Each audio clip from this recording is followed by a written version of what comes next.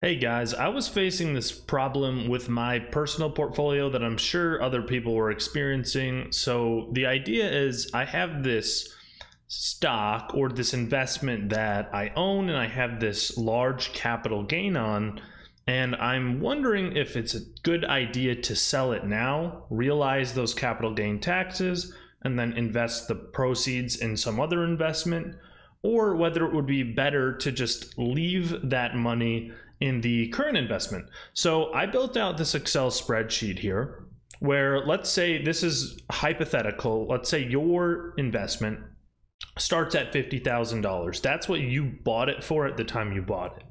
Then it grew to a current value of 100,000. You could put in whatever your actual numbers are.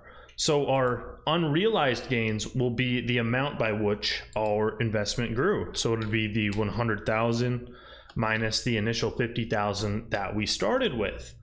Now I'm looking at this situation where let's say if I realize these long-term capital gains now, what would the tax rate be? Well, I put in this uh, little tax bracket example here. This is in the uh, current year that I'm in right now. This might have changed if you're watching this video some distant time into the future.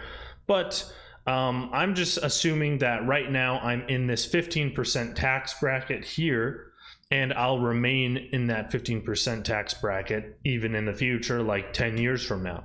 You know, it'd be cool to maybe go up a tax bracket, but let's be realistic here.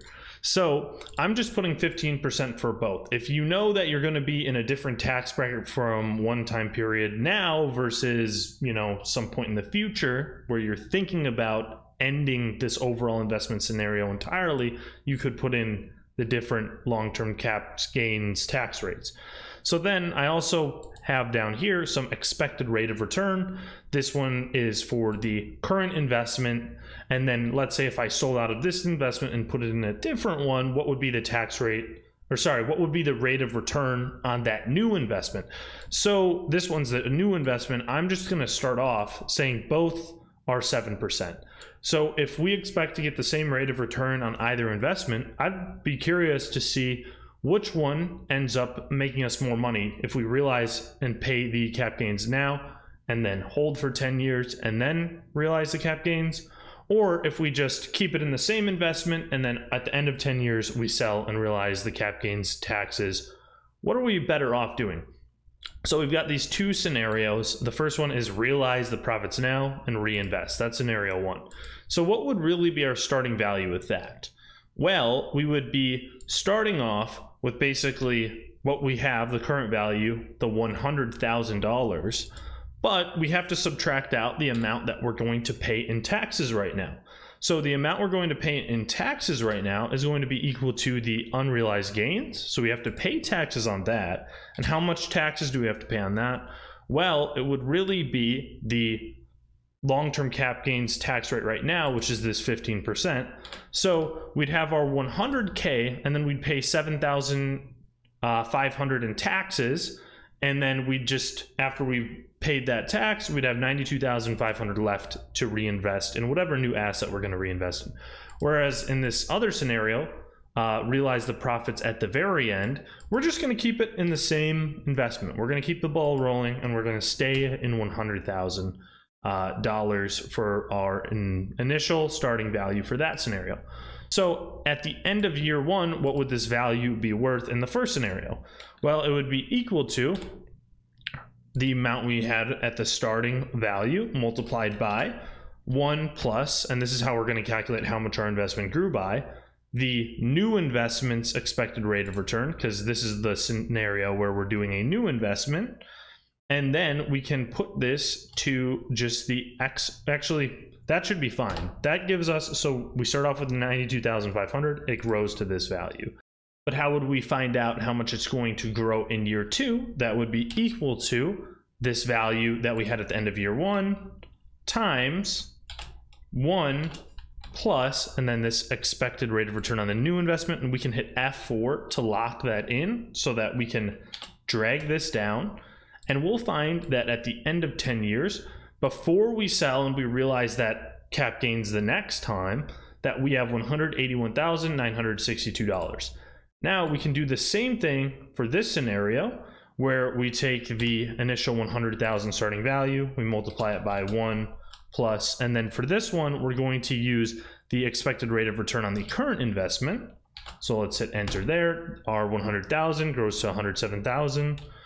Now for the uh, end of year two value, it's just going to be the end of year one value multiplied by one plus expected rate of return on the current investment because we never entered into the new investment. We can hit F4 to lock that in so that we can drag it down. And then we'll see that this is going to grow to a value of 196,715. But keep in mind that we still need to pay cap gains taxes on both of these.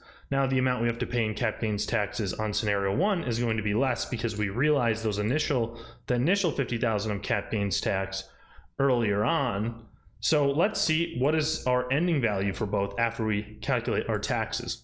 So for this one, we're actually, we have this much at the end.